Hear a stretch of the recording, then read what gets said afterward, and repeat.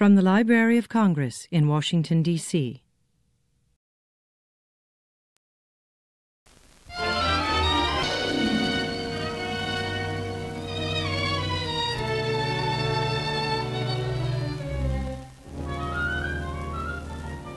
can match our driving energy.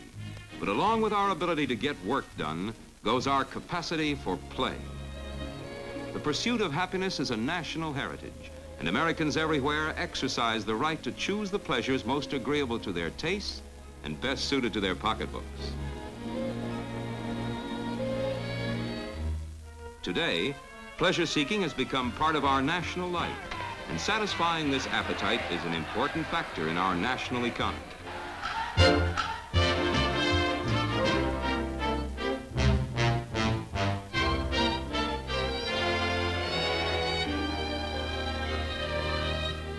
Few of us realize just how much this quest for more pleasurable living influences the things we do. It even patterns the clothes we wear and governs the friendships we make.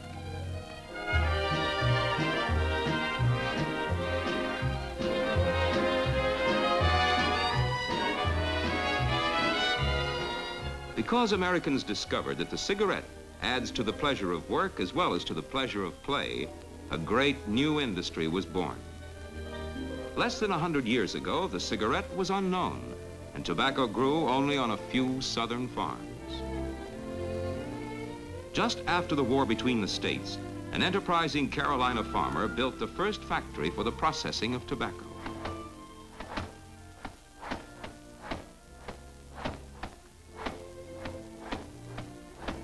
It wasn't long before Washington Duke's packaged tobacco caught on, and neighbors for miles around were rolling their own.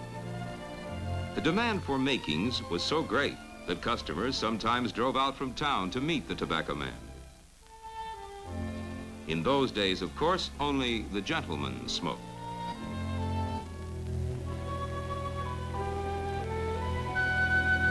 Today, the tobacco from which your cigarette is made grows in fields covering thousands of square miles. After the tobacco has ripened in the warm southern sun, it will be harvested. On Tobacco Land's farms are curing barns, where controlled heat turns the leaves to a rich gold, a gold which means money in the farmer's pockets when his crop goes to market.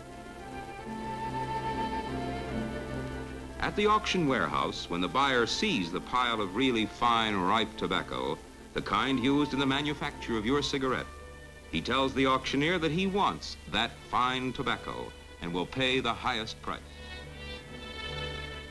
From the auction floor, the leaves go to a vast city of tobacco aging warehouses. Tobacco goes to the cigarette factory when its flavor has been improved and made milder by natural aging. To the blend of ripe, sweet leaves of the choicest American tobaccos is added just the right amount of aromatic Turkish.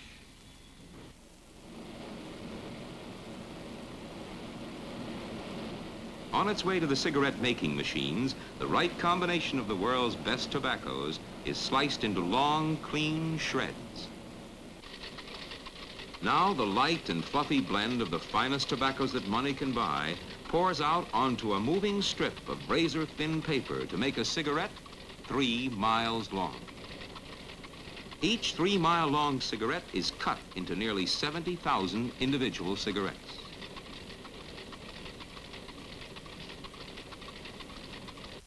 The actual growing and processing of tobacco provides a livelihood for millions of people, but many more share indirectly in the making of a cigarette.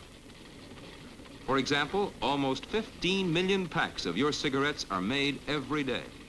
On each pack sold in the United States, there is a little blue tax stamp.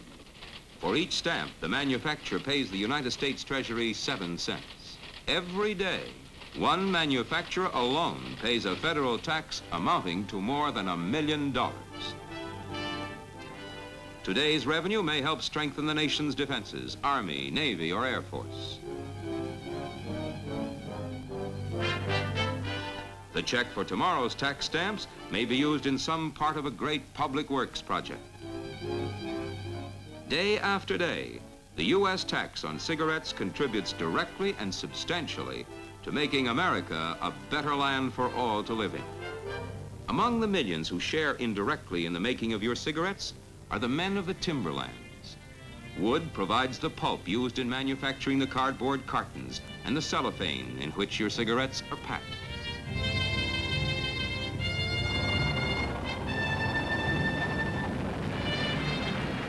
Western farmers grow flax for Tobaccoland's Ecusta Mill, where the world's finest cigarette paper is made. Many thousands help to keep your cigarettes moving toward their destination.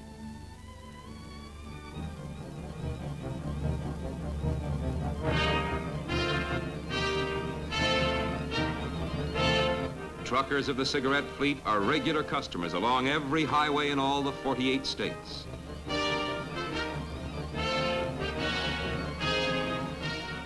Your cigarettes travel first to 6,000 wholesale distributors and then on to more than 1 million retail outlets. Merchants know that whatever else they sell, a supply of cigarettes will be a convenience to their customers. By spending a small percentage of the cigarette dollar for sales promotion, the manufacturer popularizes his product and helps wholesaler and retailer increase sales and profits. This work is distributed among hundreds of thousands, from the boys who deliver magazines and newspapers to your favorite movie stars. Many artists who make our lives more pleasurable find that there's a common bond between their own profession and your cigarette.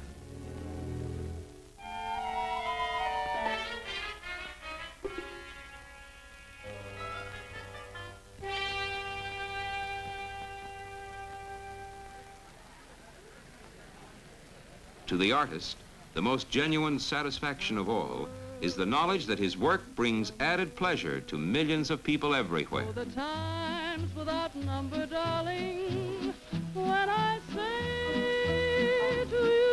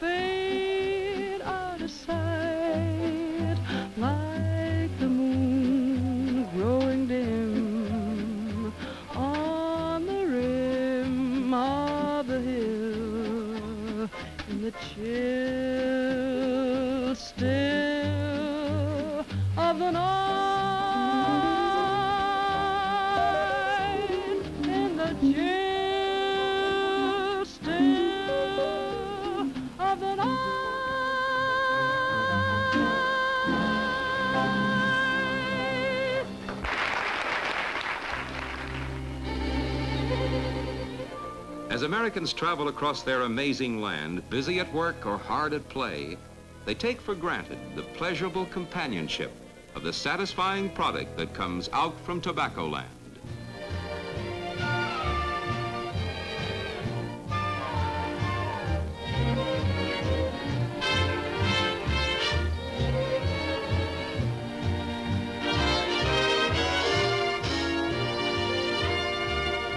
Within less than a hundred years, the green fields of Tobacco Land have made a mighty contribution to the welfare and the happiness of the people of a great nation.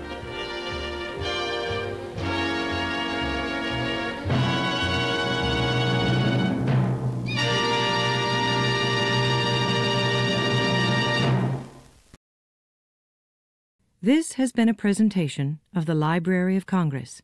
Visit us at loc.gov.